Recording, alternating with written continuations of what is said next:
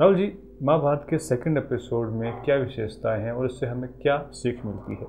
देखिए पिछला एपिसोड समाप्त होता है जब देवव्रत राजा शांतनु को कहता है कि वो उनके दुख का कारण पता लगा के रहेगा। हम्म। दूसरे एपिसोड में सीधे देवव्रत को सत्यवती के पास दिखाया जाता है जहाँ पे सत्यवती से देवव्रत आग्रह करता है कि वो राजा शांतनु से शादी कर ले। हम्म।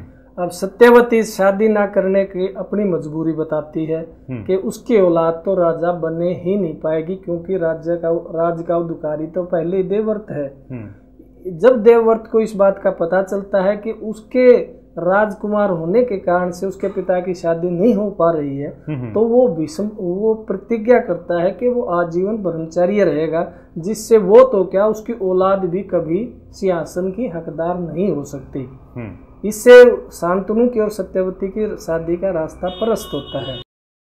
इसी से खुश होकर राजा शांतनु देवव्रत को भीष्म की उपाधि देते हैं जो बाद में भीष्म पितामह के नाम से मशहूर हुआ था।